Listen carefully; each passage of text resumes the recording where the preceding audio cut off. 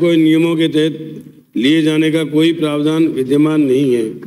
पूर्व के सेवा अनुभव की अवधि को स्केलिंग के आधार पर इन सेवा नियमों के तहत गणना किए जाने हेतु नियमों में संशोधन की कार्रवाई कार्मिक विभाग में प्रक्रियाधीन है। कार्मिक विभाग द्वारा प्रक्रियाधीन संशोधित नियमों के आधार पर कार्रवाई की जाएगी। अध्यक्ष महोदय, आपके माध्यम से मैं निवेदन करता हूँ कि जो कार्रवाई प्रक्रियाधीन है, इसमें कितना समय लगेगा?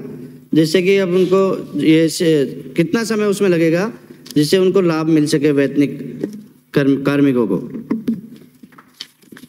अध्यक्ष महोदय, इस संबंध में सुरेश वर्मा, सुरेश कुमार जी वर्मा, संयुक्त शासन सचिव, वित्त नियम ने 10 तीन 2022 को दिशा निर्देश जारी किए हैं। जिसके अनुसार उनको विभिन्न निगम, बोर्ड स्वायत्त शासित संस्थाओं विश्वविद्यालयों द्वारा राजस्थान सिविल पदों पर संविदा पर रखा जाना नियम 2022 को गवर्निंग बोर्ड की प्रथम बैठक में अडॉप्ट किए जाने की कार्रवाई पंद्रह दिवस।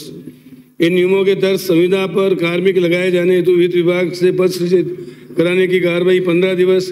पहले से ही सृजित संविदात्मक पदों को राजस्थान सिविल पदों पर संविदा पर रखा जाना नियम 2022 के दायरे में लाने के लिए नियम चार के तहत अधिसूचित किए जाने की कार्रवाई पंद्रह दिवस संविदा कार्मिकों की स्क्रीनिंग किए जाने की कार्रवाई एक माह निर्धारित करके उनको परिपत्र भेज दिया गया है। इसके अनुसार कार्रवाई की जाएगी।